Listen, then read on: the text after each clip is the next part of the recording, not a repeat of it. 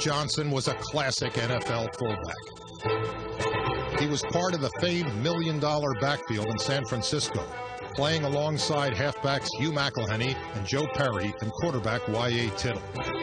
All four men are in the Pro Football Hall of Fame, and John Henry's bruising play is a big reason why. I was uh, a good hitter. I liked to hit and block, and you had to block for the quarterback and for the other backs, so I was proficient at that.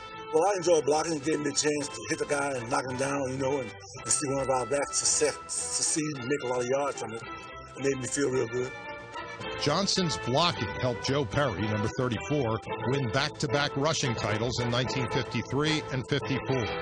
But John Henry was equally dangerous as a runner, and his opponents knew it. If you're a running back, if you're a good running back, and you're a threat to them, they take extra things trying to punish you, trying to scare you, trying to intimidate you. You know, they do all things to you.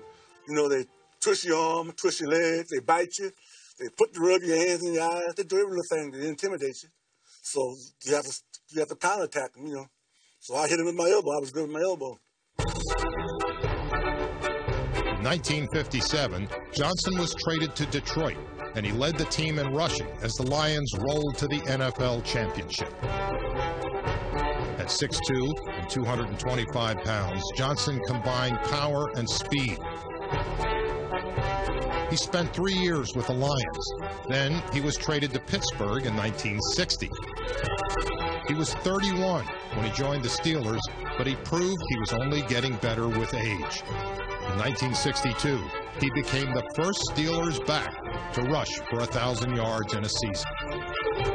Big John Henry reverses his field and breaks into the clear.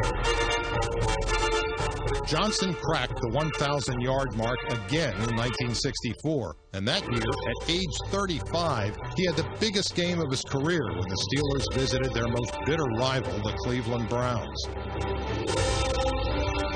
Steelers employed a simple strategy. They just kept giving the ball to number 35. We found a play that worked, and we worked it. You know, we used it all the time Went off tackle. I ran off tackle 25, 30 times game, and they couldn't stop us. Johnson set a Steelers record, rushing for 200 yards on 30 attempts. When he retired in 1967, Johnson ranked fourth among all-time NFL rushers. Yet he had to wait more than 20 years to be voted into the Pro Football Hall of Fame.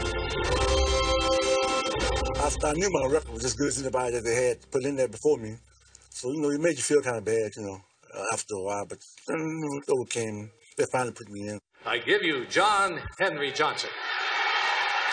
Since Johnson had his best years in Pittsburgh, he asked Steelers president Art Rooney to be his Hall of Fame presenter.